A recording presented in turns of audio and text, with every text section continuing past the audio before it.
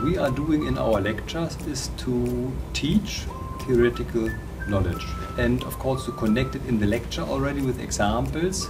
So to connect it to also the outside world, so to say. Of course, the next step is then to go actually to the enterprises, to look at the farms and to see how it is working there.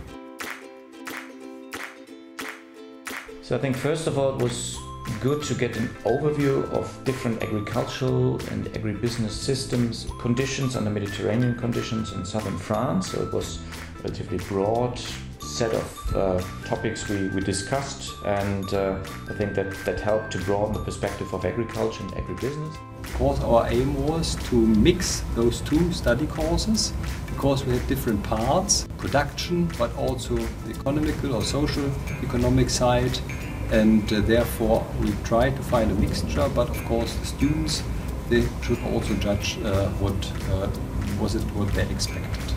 I think everything we talked about covers some aspect in sustainable agriculture. I know whenever we visited the farm where the man produces his own wheat organically, we, we got to see an intercropping system. And I remember we talked about that in agroecology in our first semester. He had a nice range of different crop applications and because he was so young he seemed to be really innovative which is a great inspiration for myself just to see that you can do it another way and not only learn from the uh, like from your father for example.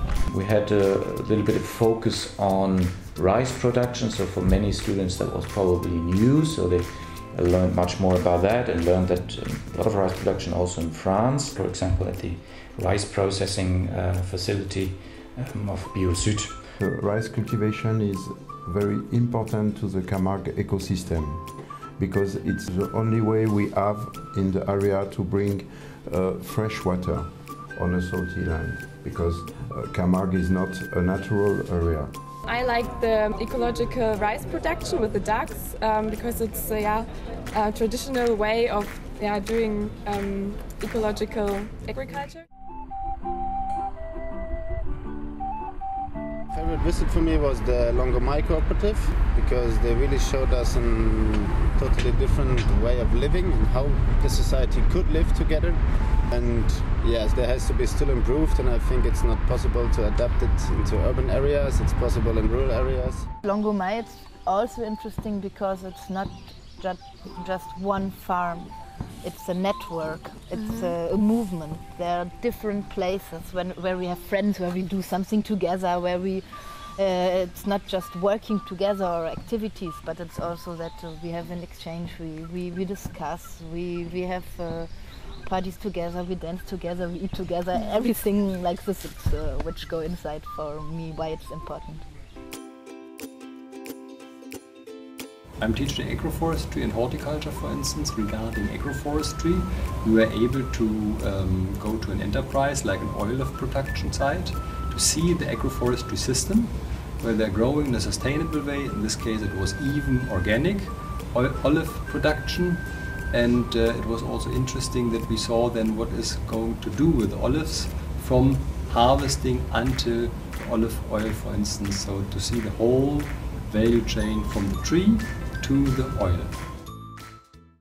I guess my personal highlight was uh, the day we spent with the people from K plus S France because it was uh, they were really nice, really friendly. It was good to get like an industry insight, not only the farming part, but also to get a point of view of the uh, mechanisms behind the farming itself. So fertilizer production, that was definitely interesting.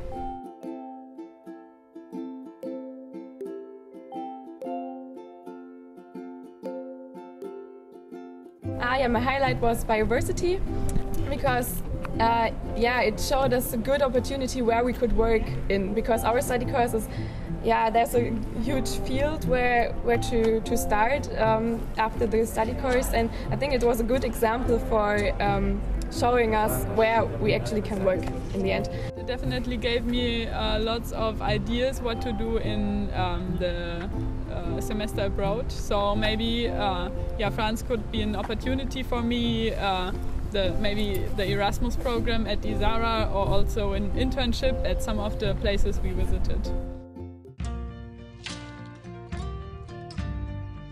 markets are always interesting for me. We visited several markets, high standard markets, but also low, uh, local markets, and you see on a small spot the diversity. So markets are hotspots of diversity in terms of food products, fruits, vegetables, and so on. The dinner we had with the students, where the students prepared the dinner, I think that was definitely the highlight from um, looking at the excursion holistically.